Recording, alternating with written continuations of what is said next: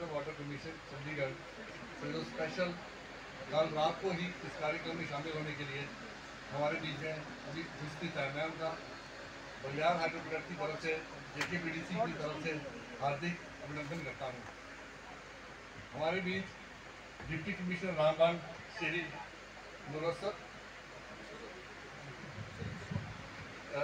हमारे बीच deputy commissioner Ramban Shri मुसल असलम जी भी मौजूद हैं जो के एस जे के एस कैडर से हैं और मैं भी उनका शुक्रिया अदा करता हूँ कि वो इतने भारी कर अभी मुझे सुबह उनसे बातचीत हो रही थी तो कह रहे थे कि मैं किसी डीसी में भी बिज़ी हूँगा तो बड़ी मुश्किल से टाइम निकालूँगा।